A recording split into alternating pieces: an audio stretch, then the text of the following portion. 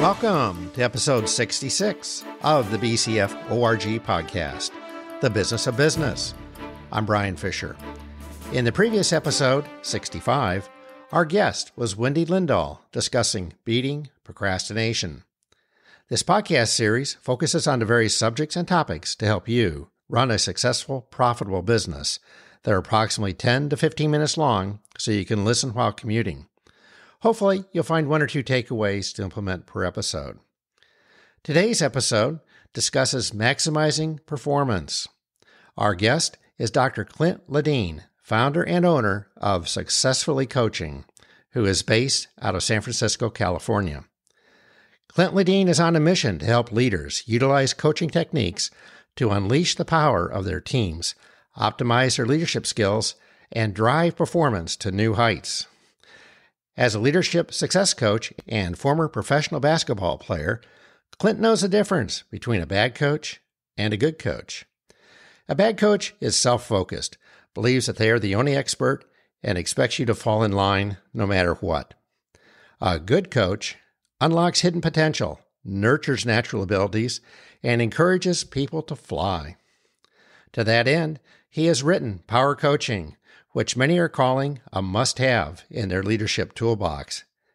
He is the owner of Successfully Coaching, a leadership coaching business whose mission is to help leaders overcome obstacles to achieving success. He has also been featured on Fox, CBS, ABC, and NBC affiliate outlets.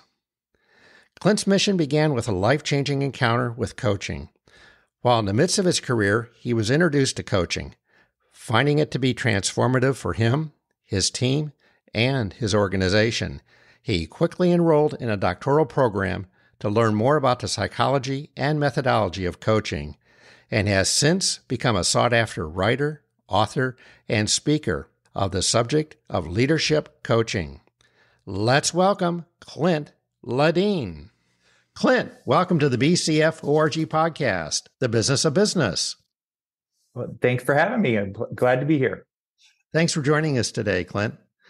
Clint, I'm always interested in people's stories. What's your background in becoming the founder and owner of Successfully Coaching? Well, I originally worked as a professional athlete in Europe, uh, interestingly enough, and then played basketball over in Australia and Germany. And then I started my professional corporate work shortly thereafter in San Francisco. And while I was there at this one organization in the city here, uh, they had given us the opportunity to have an executive coach our team, many people were a little bit reluctant to, about it. And so they offered it to me. I took it, didn't know much about it. And short story was the coaching I received was transformational for me and my organization. Uh, but let me just uh, back up first. When they first offered it to me, I, I originally thought, man, I, I don't need this coaching. At that point, I had already had my master's degree. Uh, with this organization, I already had five years in the industry. I was doing well. The organization was doing well. And so I thought, what could this person possibly teach me? They're not in this field. I'm already well educated. I have the experience. Why would I need this? And as I said, I came to find out that it was just amazing. I learned so much and just reached new heights that I never thought I could personally. And then that just kind of cascaded down throughout our organization. And then that's when I said, I need to learn more about this. And so I went back to school, got my doctorate in the field of strategic leadership and executive coaching. And I just thought, man, people need to experience what I experienced. You know, the same type of thing happened with me with professional sales training. I'd been in sales for for years, technical sales, and being an engineer. And uh, what do I need professional sales training for? And after I took it, it was like, oh my gosh, you know, it opened my eyes and took me to the next level or two for sure. Yeah, it's a it's a great, I think, life lesson for us all, right? That we always can learn some something, and, I'll even throw it out there from anybody, right? Adopting that kind of mindset is always helpful and I think positive. Yeah, absolutely. Well, my next question is uh, what's the difference between limiting beliefs and a realistic outlook? Well, I think uh, we'll start with the the second part, the realistic outlook part as well. I think that what you need to to understand is that having that a realistic outlook doesn't mean mean that you don't ignore problems or pretend they don't exist. It's that you acknowledge the potential difficulties and you plan accordingly. Limiting beliefs, on the other hand, we need to understand that they are simply just beliefs. They might not be facts. And what I've come across in my own life and in, in coaching others is that limiting beliefs can hinder uh, our growth. It can hinder organizations. It can hinder families. And helping people understand the difference between a realistic outlook and limiting beliefs can be huge in the life of a person. And I'll share just one that I had anecdotally when I was younger. I had gone to a high school guidance counselor. And as they do, I was about sophomore year in high school, and they you come in and they say, Hey, what do you want to do with your life? And at that point, I knew what I wanted to do. I was five years old. Or I told the, the gentleman, I said, since five years old, I know that I want to play professional basketball. I knew it. Uh, that's what I wanted to do. And he began to share with me and put on what I would call some limiting beliefs. He began to say things like, Hey, you know what? You come from a small town here in the Central Valley. The chances of you doing that are kind of slim to none. You're not that tall, very difficult uh, for somebody. Uh, you're not that athletic. The school you go to is not that big. Why don't we begin to think of something else? Now, from the outside, you might say, "Hey, that that guidance counselor is doing the the right thing. He's giving some, you know, a a realistic outlook." But the thing is, is that you have to be careful about couching. I think a lot of times people couch this realistic outlook because we get comfortable and we want to stay where we're at. And so I tell people, right, when you when you think about that, those limiting beliefs began to be put power of limiting beliefs began to be put on my on my head and began to be become part of my thought process. And it just got me thinking that how different could the conversation have been if he would have went something like this? Wow clint it sounds like you know what you want to do how can we come alongside you as adults in your life? How can we begin to get you the cognitive training you need to accomplish that amazing dream? Uh, what kind of people do we need to surround you with? What type of coaches do we need to get you with to help you accomplish something difficult and challenging and hard? Man, I believe in you. That's something I want you to do and flourish. But instead, I think because he had probably never experienced his dream or trying something different or trying something out of the box, that his limiting beliefs began to be transposed on others. And so I think it's very important that when you're going through life that you kind of analyze is this something that's true or is it just the obstacle that I can overcome? We're speaking with Clint Ladine, founder and owner of Successfully Coaching. Clint, what are the biggest obstacles to people? This kind of builds on your previous answer, but what are the biggest obstacles to people achieving their dreams?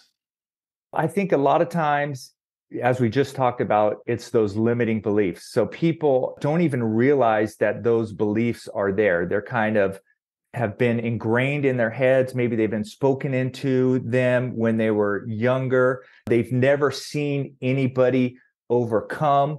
They haven't experienced someone that's poured into their life. And so I would say number one, it's limiting beliefs. The next one that I would say for people, uh, obstacle to overcoming their dreams is the persistence factor. And so a lot of times people are really used to instant gratification.